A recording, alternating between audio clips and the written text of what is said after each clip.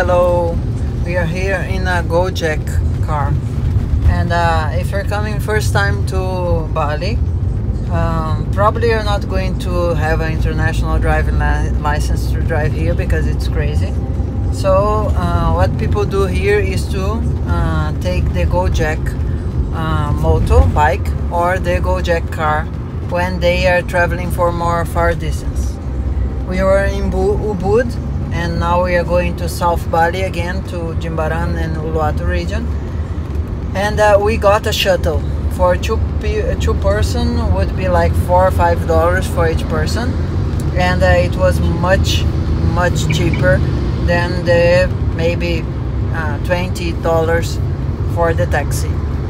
If you're just with a lot of money you can pay the taxi and uh, there is no big issue on that but uh, we came to a place nearby the airport because the airport now is having some um, working and they are constructing a tunnel and this kind of stuff so the traffic is huge and in the airport you cannot take this kind of Gojek, Grab and all this kind of uh, Bluebird, all these cheap taxis. They only uh, allow you to uh, pay the uh, very expensive taxes.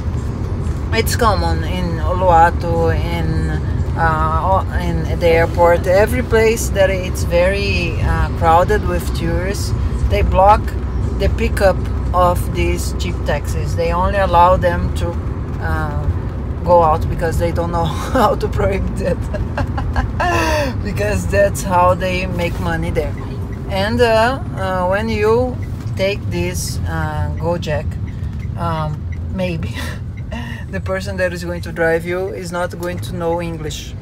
So you maybe will need to ask for the the girl in the shop to talk in Indonesian with them because um, there is something very interesting here. When we went to Ubud by Gojek, uh, they like uh, make a, a, a, kind of corruption out of the system. They uh, call you or they chat with you asking more money than the price that the app gives you. And they, if you don't do that probably they are not going to take you. You have to just like bargain with them. And this is the way that everything in Indonesia goes. You just put a little bit more money on the on the table and things starts working. Um, but uh, if you're going back from Ubud to other places like the airport it probably will be much more cheaper if you go by shuttle. And during the shuttle probably you're going to be with a lot of air conditioner and this kind of stuff. And uh, if you're going to if you're not used or this kind of stuff you need to prepare yourself because usually you have a lot of difference in the change of the weather. Since you're traveling and uh, this is very prejudicial to your health.